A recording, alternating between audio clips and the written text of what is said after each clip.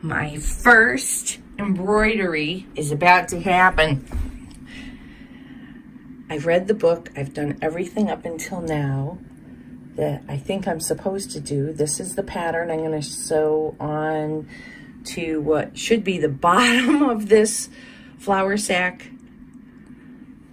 um, dish towel.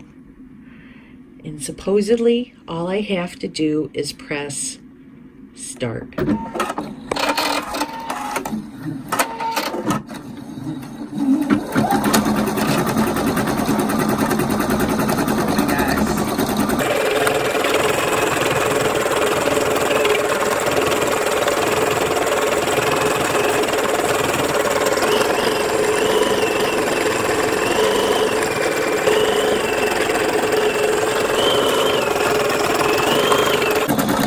Just using one color, dark green,